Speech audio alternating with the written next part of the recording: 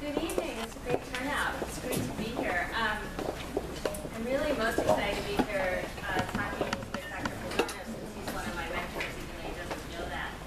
Um, but all his books and all his uh, work has been really uh, important to me, so I'm really glad to be here with him. And um, I'm really glad to be here and um, in a medical school again. It's been a long time. So um, what I'm hoping is that everything we'll talk about will be stuff you've already heard about in medical school, and you'll tell me how much medical schools change, and I'll be really excited about that. So we'll see. But um, Dr. Pizzorno and I decided that we would talk about the gut um, from an integrated perspective uh, and sort of hope to make this more of a dialogue between the two of us and between all of you in terms of how to look at the gut um, from maybe a, maybe a little different way than you've been taught. I'm not sure. We'll find out. Since it's been 20 years since I was a first-year medical student, I'm not sure what's happening there. Oh, okay. Um, so uh, we're going to start just by using actually um, celiac disease as our model, which I'm sure all of you have studied about or heard about in school. Um, and celiac disease is actually one of my favorite uh, GI disorders to use as a model to when discussing integrative approaches to the gut because it's a well-established condition in mainstream medicine that really, I think, proves um, a lot about gut integrity and how the immune system works through the gut without, uh, not that I was taught it that way in medical school, but I think that, that it's a really great model and I think it's a good way to understand um, gut integrity through a model you may already understand better. So um, celiac is um, a, a, complex interplay of genetics, environment, and immune dysregulation. So um, having the genetic predisposition to celiac is important, but then you need environmental triggers, and those together, maybe not just those, cause immune, uh, continued immune dysregulation that then causes the manifestations of celiac. When I say celiac and the manifestations of celiac, does everyone know what I'm talking about? Or yeah? Okay, just stop me if you go. Um, we're not gonna. Don't worry. This slide looks horrible. There's a lot of horrible looking slides here, but we're not gonna worry about that. I'm just using it as an example. So the genetics of celiac are that um, it's very rare to have celiac without having a certain genetic phenotype of HLA um, molecules. So that what that means is that most 95% actually of people with celiac have an ex expression of, well not expression, carry HLA-D2, it's called genes. It's not important to remember that. Oh, and then the other 5% have um, Q2. Why am I forgetting? Q8, thank you. Um, and the importance of that is that that is your genetic predisposition, but actually a large amount of the population, up to 30 to 40% of people don't have celiac but carry this phenotype. So it's a question of who expresses it and who doesn't. And the way it works, that the, what this diagram is just showing you is an interesting way to look at how the proteins of gluten, which are mostly what are called proline and glutamine, get actually negatively charged and become presenters to this HLA gene, which then causes the immune system cascade, in a nutshell. But you need the gluten to do that, right? You need gluten to make that happen. But the question is, um, you know, how is it that you can have gluten, let's say you eat gluten in your first couple of years of life and you're diagnosed with celiac, but let's say there's adults who have been eating gluten their whole life and they don't and they don't get diagnosed. That's where the conundrum is, right? What's the difference? But you definitely need that environmental trigger, the genetic um, express, the genetic predisposition, and then together, those supposedly those cause the immune dysregulation. But what um, we're going to talk about more today is, you know, what's the missing link in all that as well. So um, the human microbiome and the trillion of bacteria, right, that live in our gut are actually um, part of that missing link, we think, and a really interesting, complex part of that missing link. So if anyone, if anyone here is familiar with um, Dr. Fasano, who's an amazing physician who's done uh, groundbreaking work in this area, and Dr. Pizzorno is going to talk more about some of his work at, um, when he talks. I love the way, I don't know if you've heard him describe this, that he describes that um, thinking about the genetic code, each person's genetic code is a piano, but the bacteria is the piano player. So that, um, thinking about it, that there may be genes in there that could be triggered, but you don't have to hit all of them all the time, right? You're not hitting all those keys. And what's really important is who's sitting at the piano playing. And so which bacteria are there and what's getting hit. That's where the real key is. And so when you think about it that way, it's a really fascinating way to think about how someone can be 60 and diagnosed with celiac and not have had problems before and maybe have problems later. And maybe that bacteria population is changing um, due to infection, antibiotics, surgery, a host of, a host of factors. And actually, you know, um, from my perspective, um, and I think most people who would say they practice from an integrative perspective, um, from my perspective, there's a tons of reasons why we could have increasing um, diagnoses and increasing um, onset of celiac or other similar diseases. Um, there's a host of new chemicals we're exposed to, a host of new pollutants, bio, biochemically engineered foods, and an increasingly nutrient-poor um, diet that's poor in the probiotics and prebiotics that we need for our gut to, to be healthy.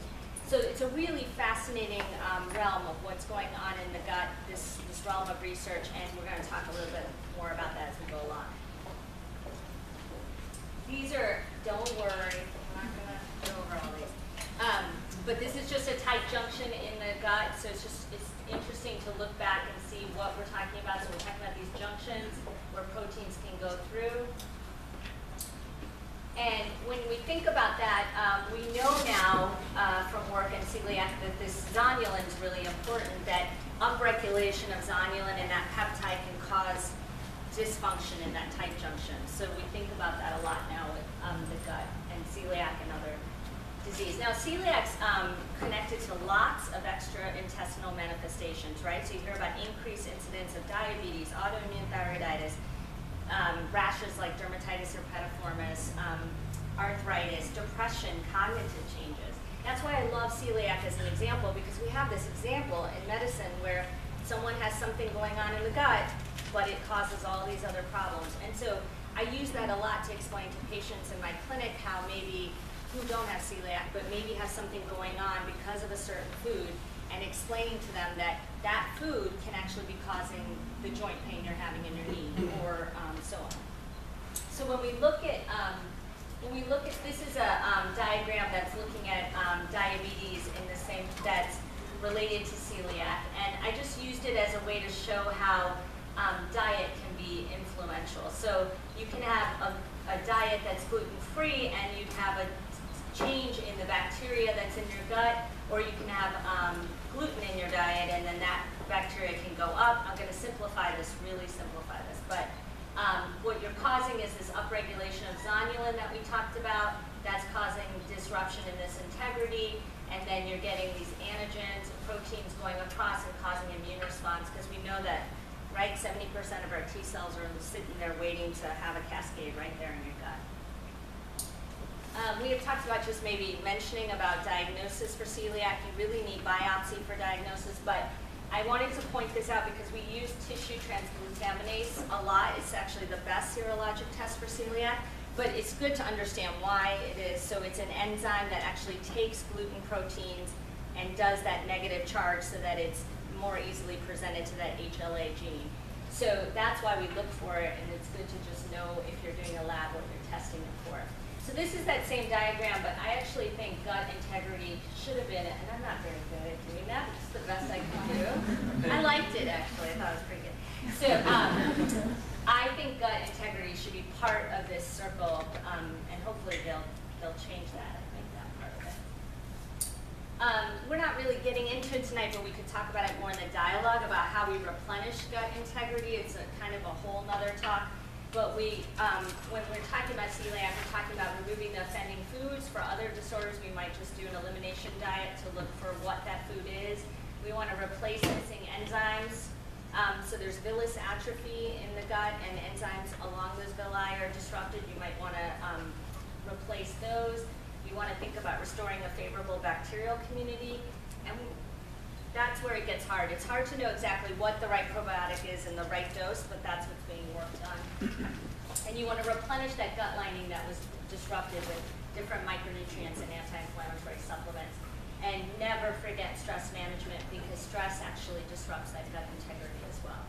So that's just an intro to what we're going to talk about. And Dr. Pizzorno, do you want to start talking about food a little? And we can go back and forth or talk on. Can are there questions on that before we go on, actually? Yeah? Can you just define gut integrity? Yeah? I'm a med student, so Yeah? maybe it hasn't changed enough. Maybe it hasn't. Maybe school hasn't changed enough. I know, do you talk about leaky gut or? We haven't done GI yet. Okay, okay.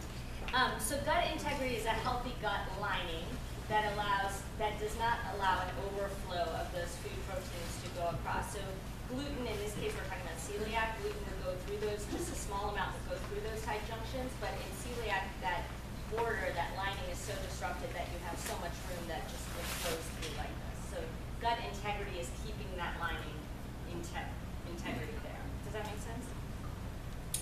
Um, no, gluten is never fully digested, that's the thing, so there's always some protein to react.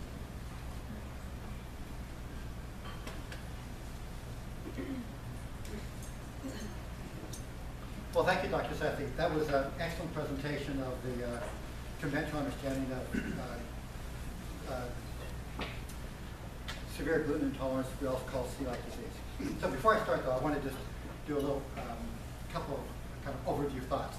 So I used to work here way back when I was a student at Medical School 42 years ago. Um, I worked my way through NASPAD Medical School by being a research associate here at the University of Washington School of Medicine. So uh, actually, um, I thought way back in 1970 that my pathway in life was to become a researcher, a medical researcher, and I just loved doing research. And so I was working at the Department of Rheumatology uh, in the School of Medicine, just a few blocks down. None of these buildings were here at that time. Um, I was, you know, just loving doing research on trying to find a cure for arthritis. And then the woman who married my roommate from college, who had suffered from juvenile rheumatoid arthritis, was cured of arthritis. So wait a minute, this is incurable disease. How could you, how could you get cured? She said, why wouldn't you make it a doctor? I said, well, what's that? I, mean, I thought there was only medical doctors. I didn't, didn't even know there were chiropractic doctors, let alone naturopathic doctors. So I said, so well, that's interesting. So I went to this guy, and I said, well, what did you do for my friend? He said, well, I detoxified her liver and taught her how to eat. I think, what's her liver have to do with her, with her hands and her knees being swollen? And so, then I said, well, can I spend a few days with you watching you see patients? And I saw, quote, miracle case after miracle case of patients who were medical failures being cured by this guy. Now, I want to be real clear. I'm not anti-conventional medicine. Conventional medicine does some miraculous things. But there's some things medicine doesn't do very well. And that's kind of much the idea of promotion of health. And this guy was really good at it. So I saw these patients being cured that were, quote, incurable. And that got me to become an exact doctor. So um, I look at you with uh, a lot of fondness and, um, and also very happy that this is happening here at the University of Washington. Because 40 years ago, there was no way someone like me or someone like Dr. Sethi would be here talking about the role of uh, food and health. I remember having arguments with the MD PhD I was working with, where I talked about how food had a huge impact on a person's health. He looked at me and said, food has no impact on people's health whatsoever. You're wasting your time. That, that was medical dogma 40 years ago. Okay, so let's get into, today. So here's the challenge. So um, now I now have lots of years of practice, and um, early on in my practice, when I've seen patients who have chronic disease, I found that the vast majority of them stopped having their chronic disease or got a lot better by having recognized what foods they were reacting to. At first I thought it was food allergy, but later I became realized I had to consider the concept of food intolerance, and almost all of it was wheat. And almost, it almost took over my practice, and is I found with my patients with all these diseases, have stopped eating wheat, it all got better. And what was frustrating was that I was taught, just like Dr. Sethi said, you know, celiac disease, immunological reaction, very severe, uh, but only half a percent of the population. Now, I would say probably more than that. Conventional textbooks have typically said about half a percent. Do you know what, what they're saying now, what the percentage is? Up to one percent, but really, really low. Now seeing virtually everybody. And so I was starting to realize it was not, it was probably not immunological. So I think, okay, something else was going on than just simply an immune reaction to wheat. So anyway, so um, that was interesting. And anyway, got me um, uh, walking down this pathway. And uh, as uh, Dr. Sethi said, Dr. Fasano uh, research was brilliant to figure this out. So I'm going to do is real quickly cover the weak conundrum, the Johnny discovery, gliadin, disease association, prevention, symptom reduction, and recommendations. Okay, so um, it's very clear, if you look at the history of modern civilization, without wheat, we probably would not have evolved as we- have as a species. Wheat is a very inexpensive way of giving people a lot of calories and also getting a lot of protein. So wheat's really, really important. When we start looking at um, disease associations with the amount of wheat consumed by any particular co- country, you find a lot of really strong correlation. The more wheat they consume, the more chronic disease they have. Now, there's other compounding factors, of course. We know the Western diet is terrible, et cetera, et cetera. But, um, you know, how, come this seems like such good food, yet we see so much correlation with disease? And my personal experience was just dramatic. Stop eating wheat, get dramatically healthier. Then Dr. Pascal came along. Now, he was actually not researching wheat. Uh, he was researching infectious disease. In particular, uh, he was looking at what molecules be secreted by the gastro- gastrointestinal mucosa when it comes in contact with invasive, invasive organisms such as cholera. And as you know, a person with cholera, they got a lot of food washed into the gut to wash, wash the cholera, uh, uh, wash the uh, cholera toxin out. And he discovered that the chemical released by the gut to open up the pores and wash out all the water was zonulin. And so he was very excited about this research. But then he actually found out that zonulin is released not just by the cholera toxin, but also released by gliadin, uh, one of the, the subproteins in wheat. And therein begins the search, the, the, the pathway. So here we have the, uh, mucosa. Here we're called the tight junctions. Now, when I was in school a long time ago, we were told the gut uh, mucosa was totally intact, nothing leaked from the uh, gut into the blood. Well, look at more research, about 30 years ago, researchers now show that actually about 1% of the protein ingested is absorbed into the body undigested. So what's going on here? What's going on here is that the body is intentionally open up the space between the cells to sample what's in the gut to determine if the body needs to react to something or not. Okay, so the body intelligently look at what's in the gut, no problem. But what happens if that opening, which happens only for a very short period of time, gets out of control of the body and starts being open all the time? So that's what happens. With zonulin, whenever anybody eats wheat, the gliadin fraction of the- of the wheat actually causes zonulin to be re- released, and zonulin causes the gut to open up. So not only now is the gut being open for sampling, but now the gut is being open without control, so whatever's in the gut is now leaking into the body. Now leaking of stuff into the body is resulting not only in antibody uh, reaction to those intact uh, uh, polypeptides and proteins and you know, poly- polysaccharides, et cetera, you're also getting upregulation of inflammation. So even if there's not an inflammatory, immunological reaction, there is an inflammatory reaction. So there's a direct correlation between the amount of wheat consumed and in people who produce zonulin, which not everybody, I'll get that story in a second, but basically the more wheat they, more wheat they, they consume and the more zonulin they release, the more they chronically upregulate inflammation, that means inflammation all throughout the body. And that's where we start getting pretty interesting. So now the question then is, well, who, who, has zonulin, who doesn't? Turns out zonulin is a precursor for haptoglobin two.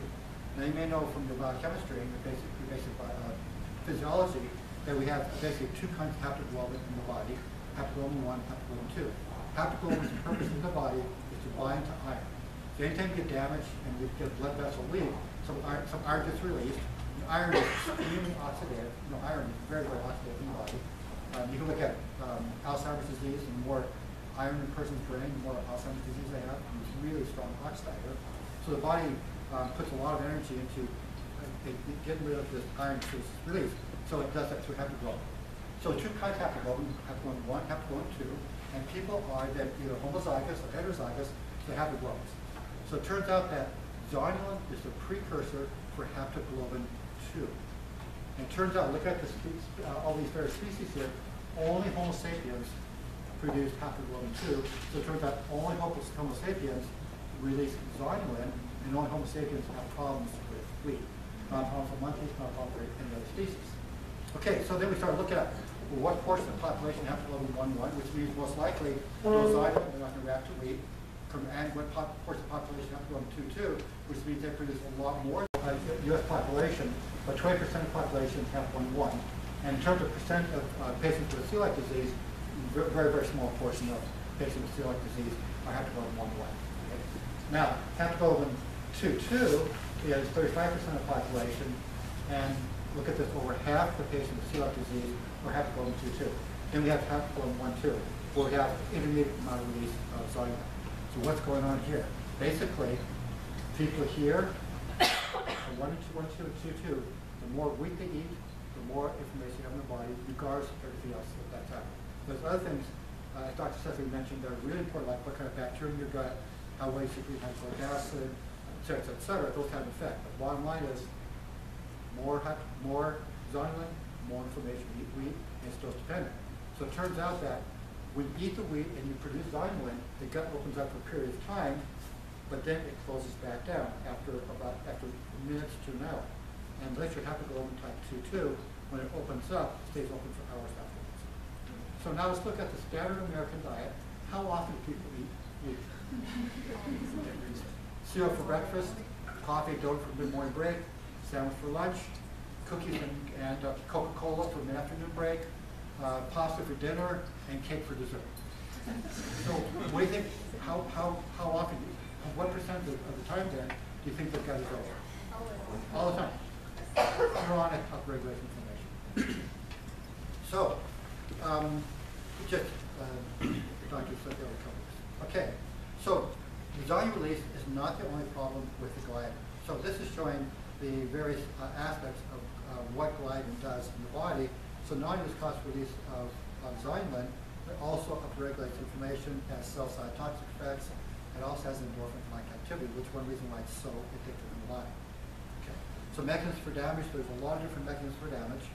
Um, but one of them is that, and this is very important, is not only are we upregulating inflammation in the body, but we're losing control over what is getting into the body.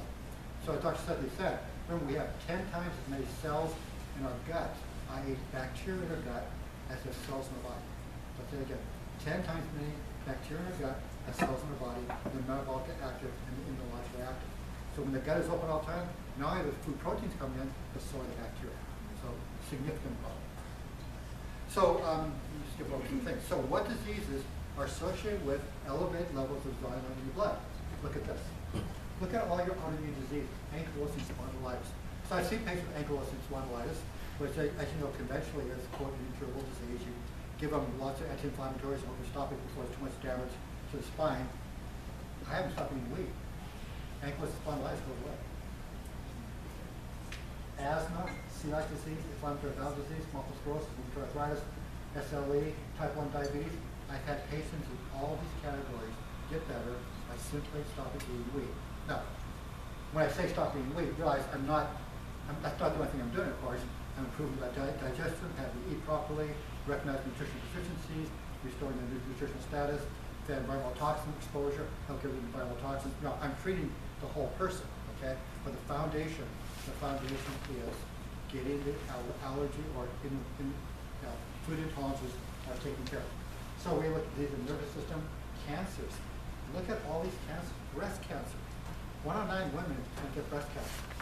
What portion is that, is that simply because of eating wheat? What kind of effect can that? So, yes. Question for you. Um, how do you resolve the, the fact that zonulin could be released into the bloodstream as a result of damage to the, to the gut?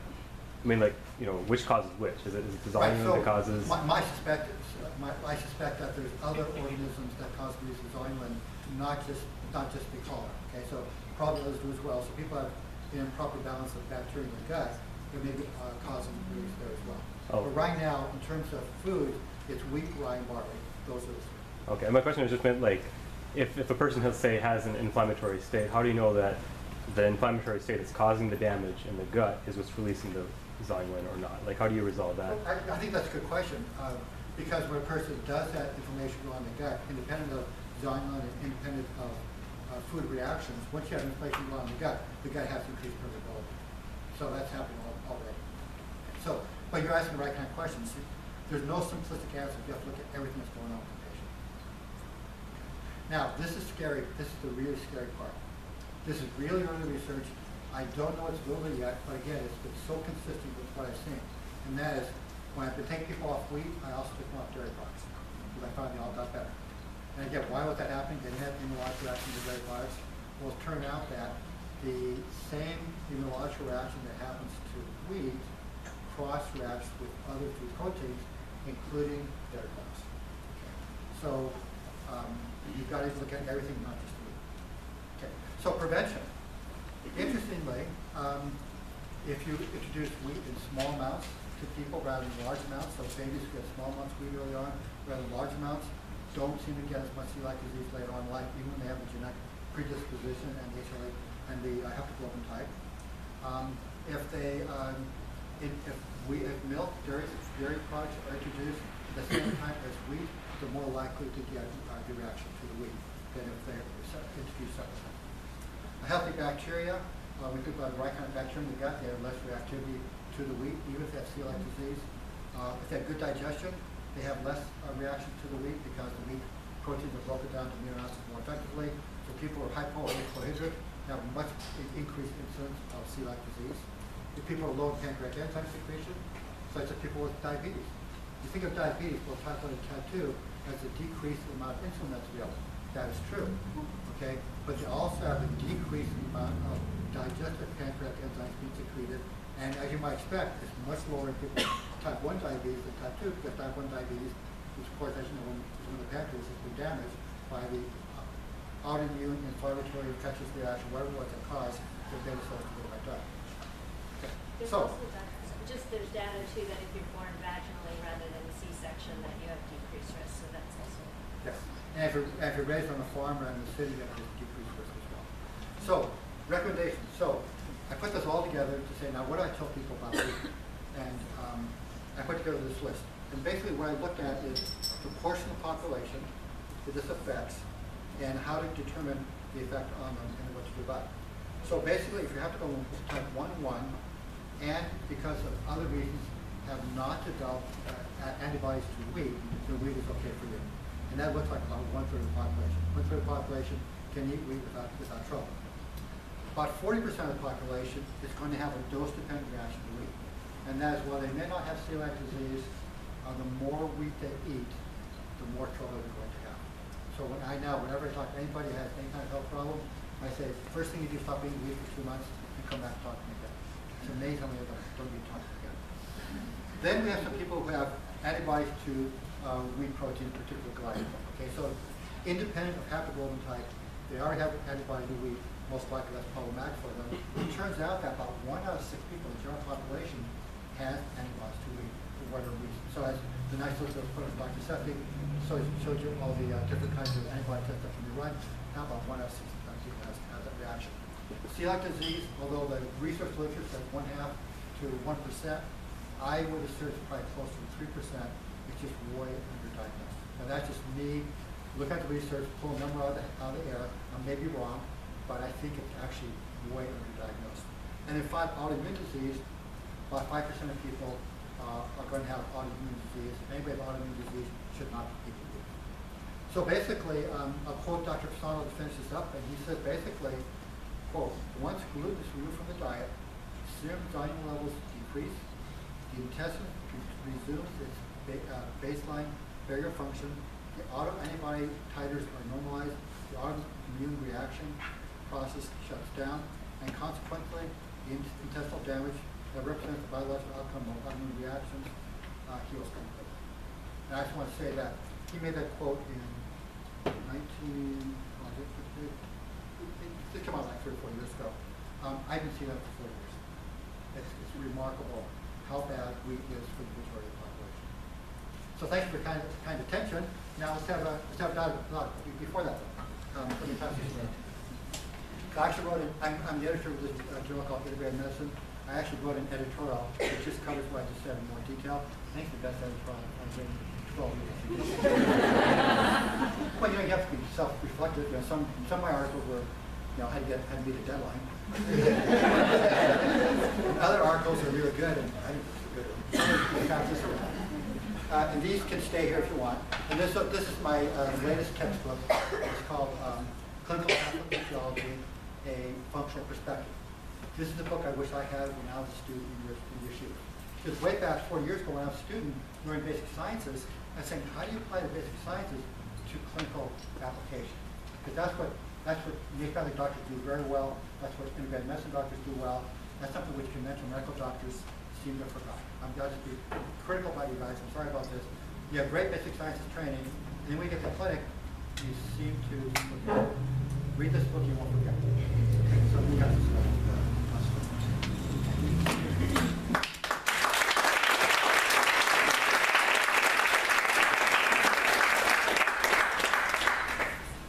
Okay, so uh, let's have some dialogue.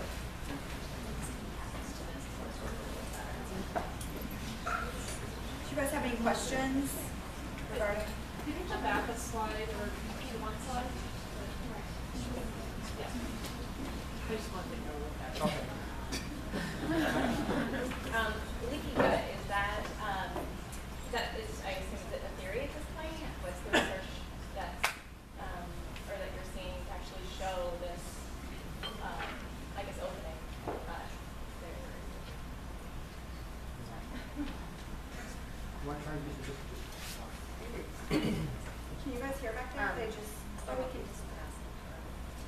Um, there's a ton of research out there showing, um, increased gut permeability, which is leaky gut, and, um, I don't think it's a theory at all, I think it's well established, I would say. I think that that's why, um, in the beginning, when I was saying celiac is a good model of that, we well established that a long time ago with celiac, we didn't call it that or link it in allopathic medicine to what we do now. Okay, I don't know if allopathic medicine does that now. See, I'm well out of the realm of allo, um, anyway, I practice allopathic medicine, but it's integrated medicine, and, um, I'll say that, um, so it's well established, it's not a theory, it's not a joke. And, um, I will say though that what Dr. Pizzorno is saying is really true, is that I, I crammed all this biochem in my head in medical school and just memorized all my cycles and all my flow charts and, you know, all this crap. And, um, and I thought, why are we doing this? Because nobody linked it to anything for me, just told me to memorize it. It was really frustrating. And I have to tell you, I had to relearn all that stuff again to actually learn how to take care of patients. And um, I wish that somebody had linked it for me then. And so I'm excited to look at Dr. Pizzorno's book, but I feel like that's what I do every day, all day in my family medicine clinic is link biochemistry to what's going on for my patients. And I wish somebody had told me that that's what I needed to do because I would have had a lot more fun memorizing it and understanding why I was learning it. So I would really think about that when you're in class. On the autoimmune, you're showing DHEA and vitamin D. Are you, not meaning you mean supplement with it? or- Right, so, um, Okay. so the last column is intervention, and what to do for each of those categories. And, and clearly, this is just shorthand, just writing stuff into the table. Um, So, uh, clearly, uh, if they're haptoglobin one one, they don't have wheat antibodies, no problems, with wheat, rye, barley, eat them without trouble. Uh, if the person does have haptoglobin one two, or, uh, then they need to limit the dosage and then make sure their gut is, has good healthy bacteria, lacto, you know, lactobacillus, bifidobacteria, things like that, and make sure they're digesting the food properly, and make sure that their gut integrity is, is, is healed. Um, within our community, the idea of leaky gut is very well accepted, and there's plenty of research support for it. But if you look at, at, into the conventional uh, gastrointestinal community, uh, they still are pretty doubtful about it. Um, when a person has a celiac disease, of course, you have to avoid all the grains without any question whatsoever. And finally, if a person has autoimmune disease, you want to avoid all the allergens, but there are some nutrients are particularly useful. One's DHEA, and the other is vitamin D. And uh, one of the reasons why we're overreacting to wheat is because of the rampant uh, deficiency in vitamin D. Somebody had a question on that, that's not? Oh, I was just wondering when you say um, all grains, does that include oats? So here's, here's the challenge. So when I treat my patients, I go off all the grains. So even though there's no gliadin in oats, okay, um, remember these are family of storage, you know, wheat has a family of storage proteins called prolamins, okay, there's other ones as well. And they are immunologically fairly similar, but not exactly the same. So while they're not releasing zonulin, if there's other antibodies to the weed, they may be reacting to those as well. So for my patient, what I do is I just have them be extremely strict, get everything healed up, then we re-challenge them with things and see what happens. So I, I, I have a question of you folks. How many of you, I'm gonna ask four questions. Are you an ND student, ND student? Are you an MD or an ND act- practi- practitioner, or are you undefined? Okay, so how many are, are ND students? And- and How many are, how many your ba, how many are your master students? Okay. Okay, how many of you are MD students, University of Washington Medical School students? Great, good to see you. How many of you are naturopathic doctors? What? Naturopathic doctors? How many of you are medical doctors? Great. And how many of you are in some other category? Thank you, all- thank you all for being here.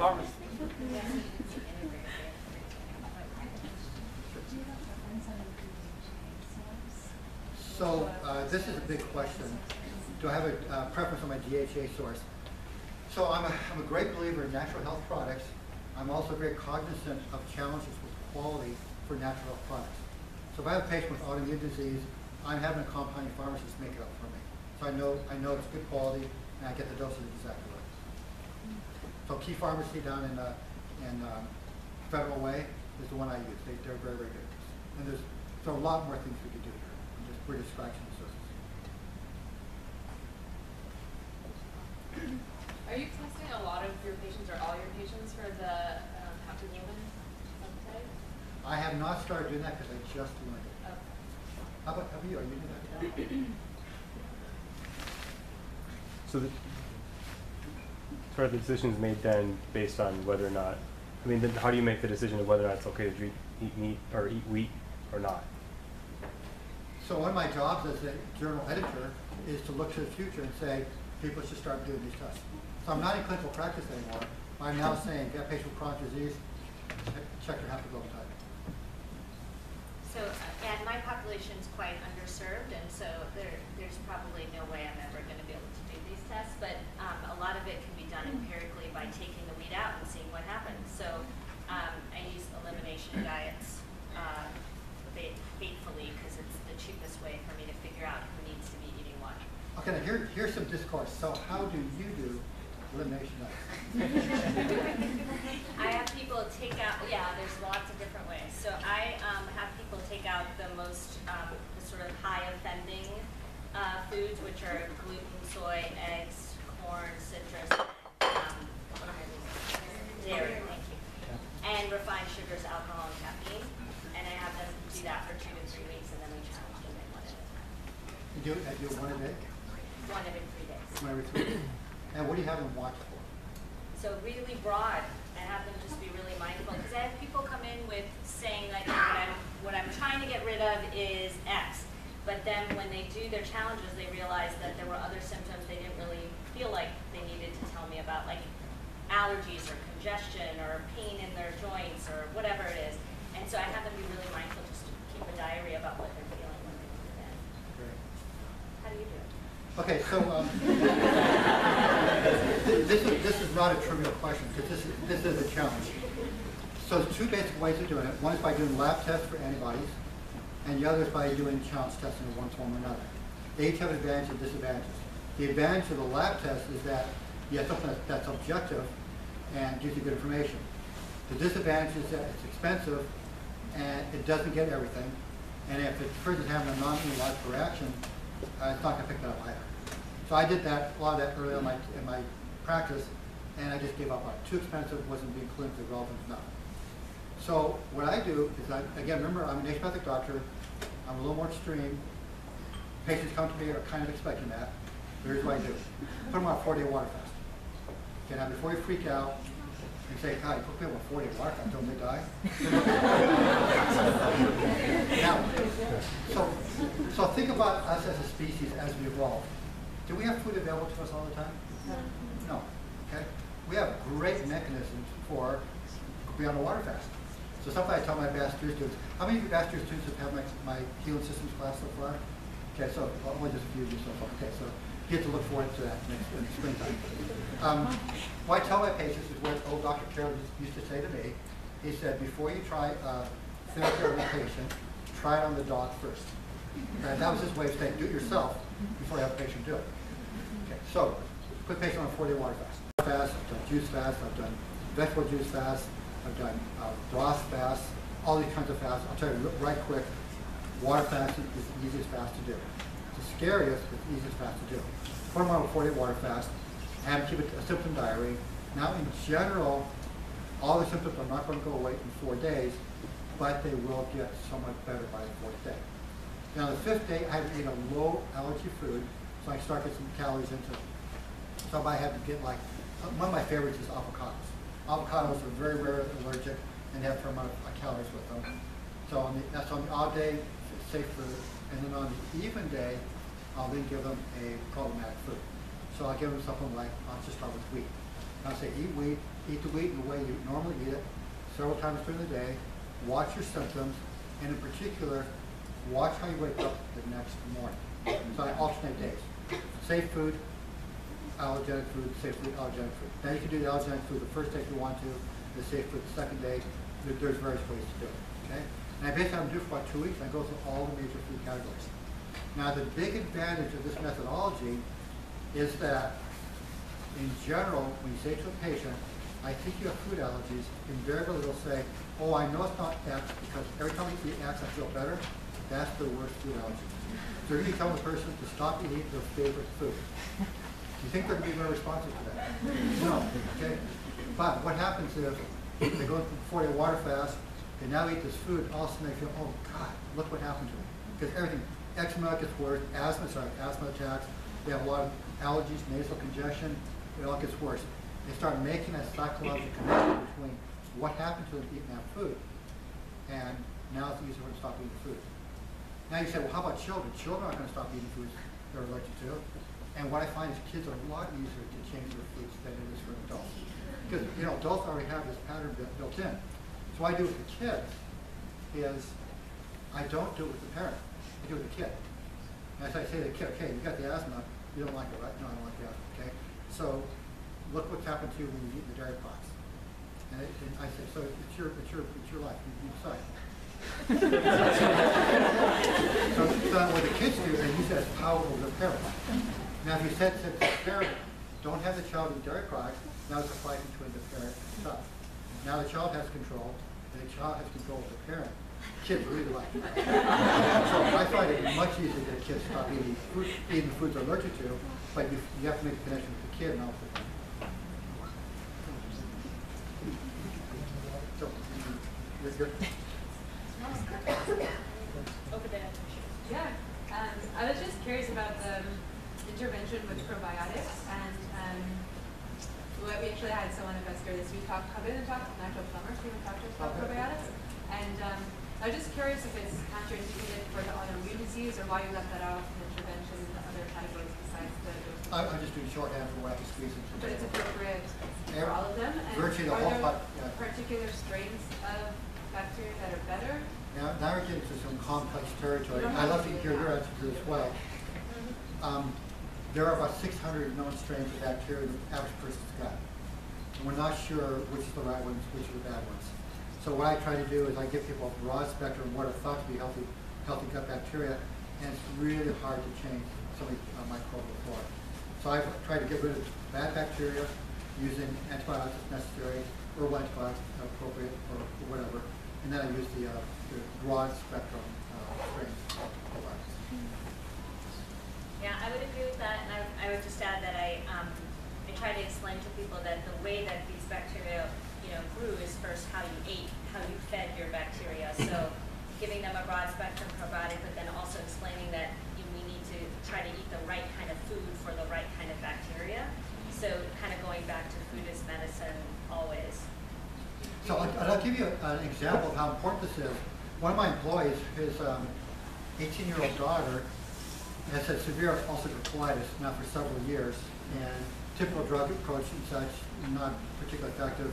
Uh, she used some of the recommendations I made in my encyclopedia natural medicine, some improvement, but not very much, and then decided to do the uh, inoculation route. So she inoculated herself with her father's poop.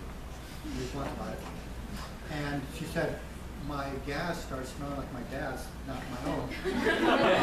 and three months later, no ulcerative colitis. It was all because she had the wrong bacteria in her gut. Now, she's also, in the context of doing a lot of things right, because I was telling her to do it right, but until she changed her bacteria, she didn't get rid of the ulcerative colitis.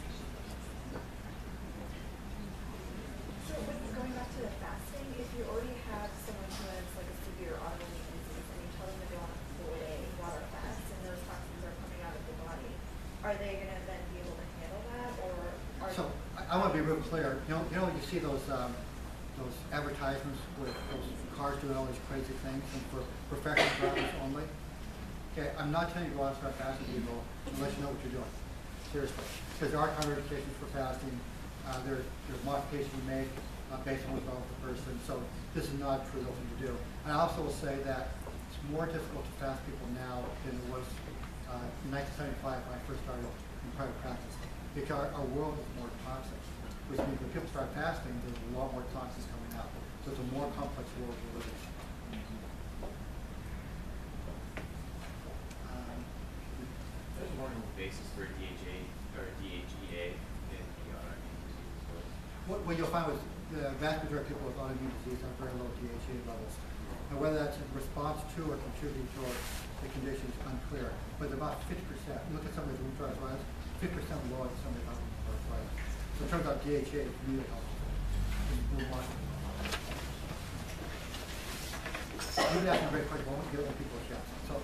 I'm just wondering about um, patient compliance and whether it's the type of patients that your clinic selects for, but I feel like um, a lot of people have problems just getting patients to restrict calories, let alone go on this type of kind of very restrictive um, elimination diets, and how much success you have with people being compliant for that. So let's both answer that.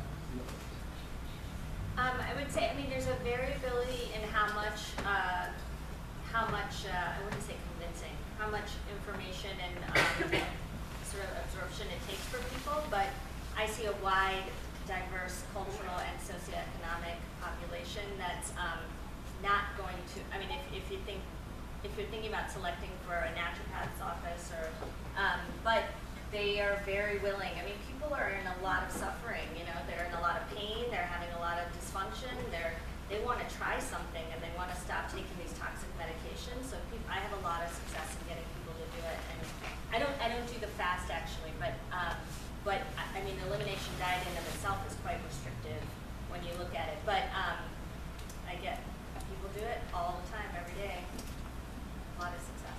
And that, that, I think that's exactly the same answer I would give, and that is, to some, first off, we have an advantage, both in naturopathic medicine, integrated medicine, that as people are choosing to come to us, they know that something different is going to happen.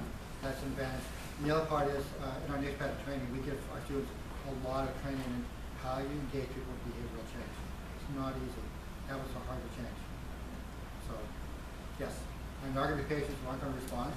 And so I tell my students is, your job is not to be authoritarian and only have one way.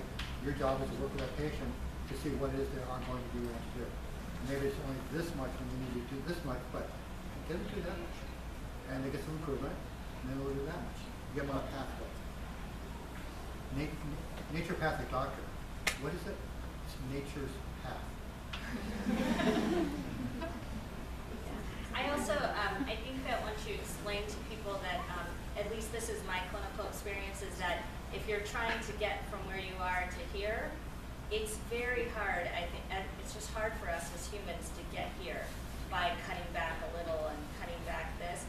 And sometimes when you go drastic, it's easier to come back to some middle that's.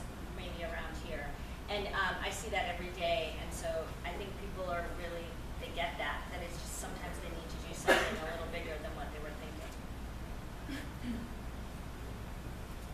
Um, so back to the question of diagnosing, I'm especially interested in that non-celiac gluten sensitivity group and that number forty-three percent. So I've heard even, um, naturopathic doctors in the community who are kind of skeptical about that group and the whole idea of gluten sensitivity because there are no, there is no true immune reaction and no lab test. And that even when you do the elimination diet, you know, people say, oh, I felt so much better when I cut out meat, but then, you know, the way they're eating and then when they reintroduce, it's usually in processed, highly refined, um, very sugar, calorie laden foods. And so it's, you know, is it a true gluten sensitivity and how can, you know, Yeah, that, I think that's an excellent observation, and, and let me expand on it a little bit. So, realize that while we take people off the wheat, remember I said we're doing other things things as well, we're putting them on a healthier diet. So it could be simply, we just got them off wheat, and wheat has with it all these calories and sugar and, you know, added food additives, et cetera. Maybe it's just that we're putting them on a healthier diet. And I think that's really, really important. So there's this old adage back that, uh, if the only tool you have is a hammer, everything looks like a nail. So, if you have a, I, I tell the students about this, read the old timers, read the, read the data how the doctors writing hundred years ago. Great clinical insights, but they tend to make two mistakes. One is they get a great clinical insight and they say, oh, this cures the whole world. Well, no such thing, okay? The second thing is that they were limited by the physiology understanding of the time, so their explanation for the mechanism of action is probably not accurate because the physiologist wasn't known at the time. But they had a good clinical insight. Recognize one insight by itself is not going to do everything. So I'm going to tell you very clearly, getting people off wheat dramatically improves health. But it could simply be not because of the Zion connection, it could be simply because they're eating, they're more conscious of their health, they're eating better, better, they're exercising more, reducing the stress, other things may be happening as well. So you always have to consider those factors. So I fully agree. I just, I just look at they get better, I'm happy, so.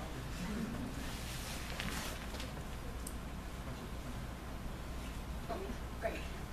So um, some of my research friends told me that the celiac or the gluten intolerance is primarily happening to um, Caucasians. Rarely see any case in Asians. Do you find that true in your practice? The Asian population has slightly more one-one than the Caucasian population. But other, other than that, I've seen Cauca- uh, Asians have wheat problems. I mean, you wonder if it's less wheat products being ingested too. I, that's just my own. More like even rice. Yeah. Has there been any research showing that it's the GMO wheat product that might be causing the biochemical reactions in the gut versus, I mean, I know it's hard to avoid GMOs and stuff, but has there been any research where people eat that might not have been biochemical or biogenetically engineered and would have the same reaction as GMO? So there, there's two answers to that. One is, if you look at the of gliadin in wheat now as compared to when we first started cultivating it, you know, thousands of years ago, uh, it's about twice as much na- now as before. So, if you're, so if you eat something like Kamut, any of the ancient wheats, if you have celiac disease, you will react to ancient wheat just as much as you respond to react to current wheat. However, if you have one, one, two, and don't have the antibodies, then you can eat twice, twice as much of that wheat to get the same reaction as modern wheat. Know it's a little bigger question you're asking. In terms of GMO, all those epi- epidemiological uh, correlations between wheat consumption and chronic disease all happened before GMOs uh, came out. My assumption is that, that GMOs want to change the game, but I don't know in what way.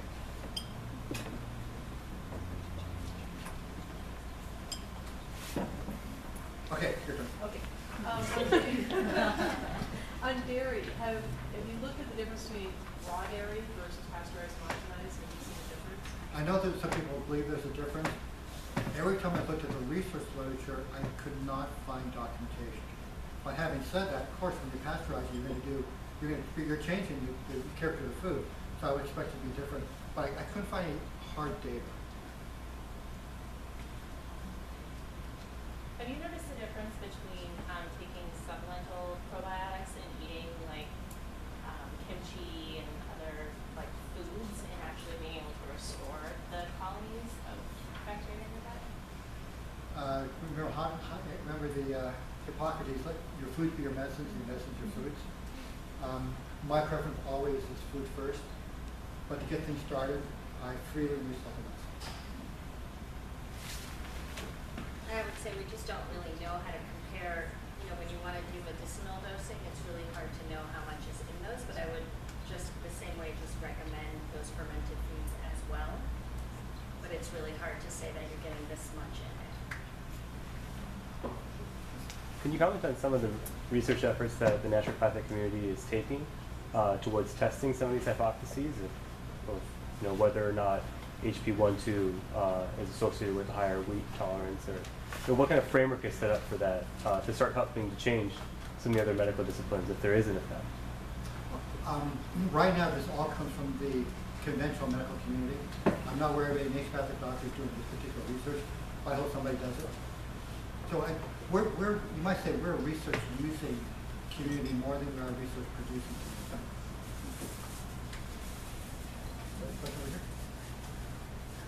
Um, yeah, I was just wondering if, um, Dr. Sethi, if you could talk a little bit for, um, uh, as to your experience, um, with the allopathic model and then getting integrated training.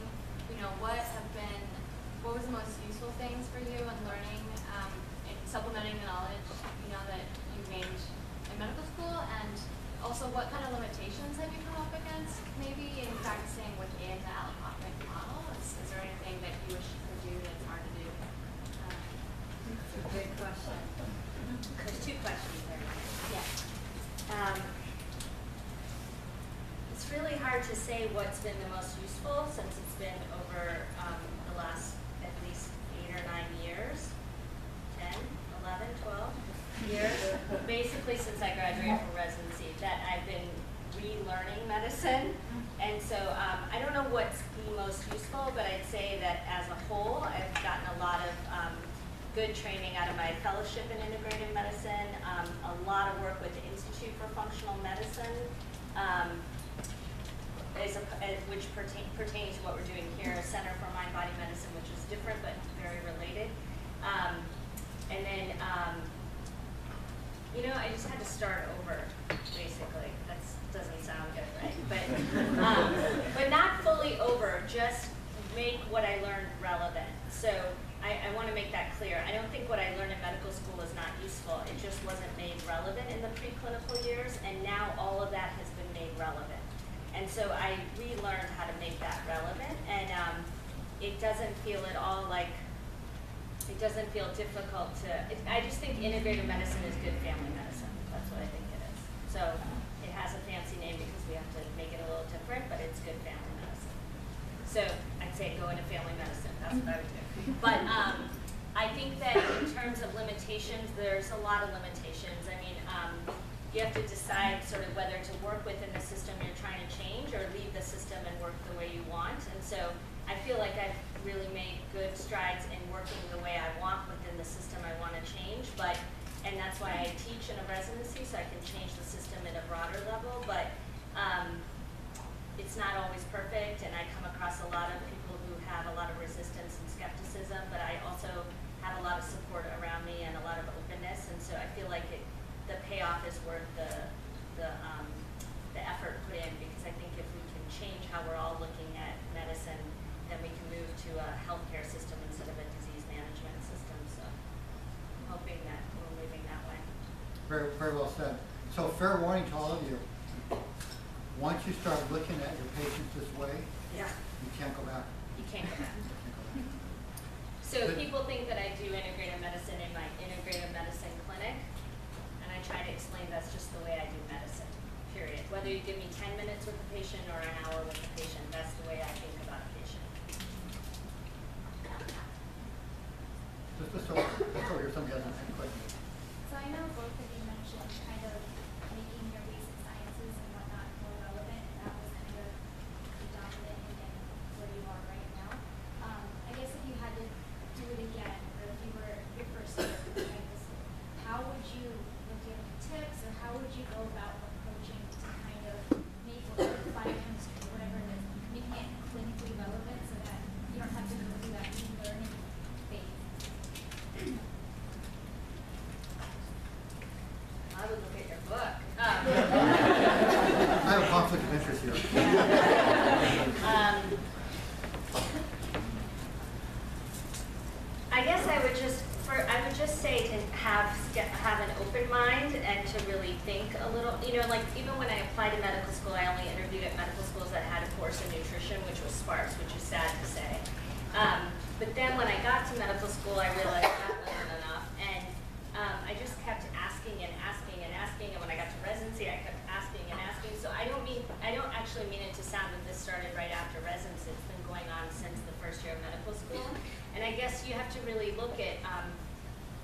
like I said, I don't think the information about it will make it relevant because the truth is that the information, okay, this is gonna sound political, it is.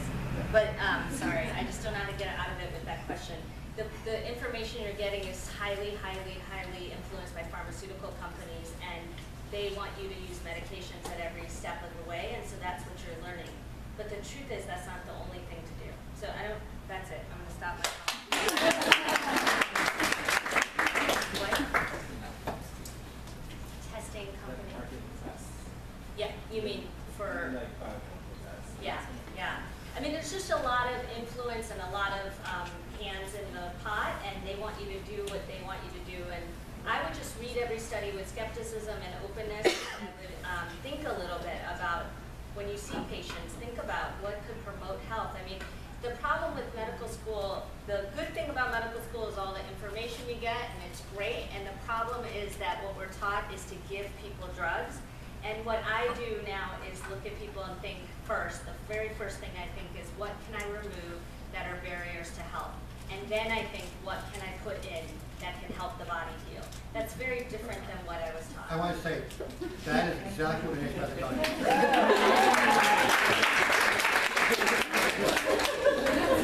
Um, hi everyone, I am the Integrative Medicine Fellow working with Money this year.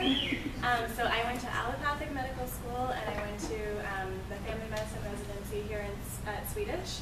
Um, and so, you know, as someone who has gone through medical school more recently, um, you know, the thing to do is if you have, well, just if the thing to do if you're interested in this area is um, at, where I went to medical school, we had an integrative medicine interest group. It was really good to learn about this stuff while I was learning bio- biochemistry, while I was learning genetics. It made a really big difference in like how I was thinking about medicine. And then when I applied to family medicine residencies, I looked for residencies where I was going to get this kind of exposure and knowledge. So if this is something that you're interested in, you have to be very intentional about the experience that you want to get. Um, otherwise, you won't get it. Um, so you really have to look for it. And Jenny's right, you have a lot more opportunities than when I was in medical school, I was just searching for them all over the place. But now I think they're really more abundant.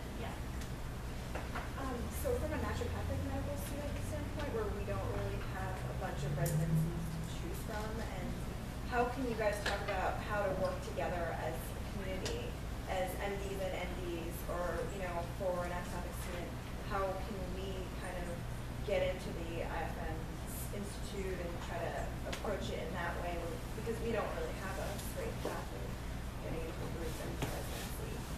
Well, so off, if you look at for Institute for Functional Medicine, um, everybody's welcome to attend education programs there, and it's pretty well worth doing. As you may I'm one of the founders of the institute, so I'm a great believer in does. Um, The other part is that I find that practitioners in the field of all stripes, um, as long as you avoid the political bodies, they want to work together. Because it- there's, they care, any practitioner cares about the patients, or wants to get better, they don't care about the philosophy of the just doing it. So you find collaboration. Even back when I was in private practice over in Queen Anne Hill back in the late seventies, I had internists I could refer people to, gynecologists, et cetera. There were people who were willing to work with me because, yeah, they didn't agree with my philosophy, but they wanted to take care of the patients. So it's not, it's not that big of a problem anymore. Just, just talk to each other. Plus, I think that um, when you're seeing patients, it's, up to you to see patients and then say, you know, when I was, a- even when I was a resident, I saw patients and they were saying, well, I saw, I'm seeing this naturopath, and then they would gloss over that, and I'd say, what's that naturopath's name? And then I would call them, and I'd say, so what are you doing? You know, what, why don't you send me a note? I'll send you a note. We can talk a little. I mean, so, you know, you can find out what they're doing. I mean, should, it's up to us to figure out what our patients are doing, right? I guess for clinical, for naturopathic students, clinically, we don't get as much um, after school, so what, Yeah, so I, I would recommend that if you can't do a residency, because like I say, there's limited number, find a- an experienced doctor who spends an. I, find an experienced, successful doctor. And uh, they, they may want you to work for them for really low wages for a year, fine, learn from them. Because, you know, real, realistically, if I had my druthers, if I wave my, wave my magic wand, every day health doctor would have one year required residency. we need that required residency. But the problem is, there's political stuff, the entities have all the money, we don't, so we can't afford the the residencies. If we had the money, I'd have everybody do residency. That's one of the disadvantages of going to Mace Medical Island, and that is we have to um, take more challenging pathways. It. Um, I just wanted to, in general, thank whoever put this together because I know at Bastyr, we're really interested in integrative medicine and, and doing best practice medicine, um, family practice in particular. Um, and so it's, we're in the same city, sort of, we're in Kenmore, and so just kind of a open welcome. Um, we have really cool talks up at, at our campus. It's very beautiful. It's in St. Edward's Park. You can take a hike down to the, the water. You can come mushroom hunting with us. So like, song about it. But um, so just thank you for putting an integrated talk together. Maybe we can do it on our campus next time and um, keep this going and make connections now because together we can really change what what the healthcare system looks like in the future. Thank you all.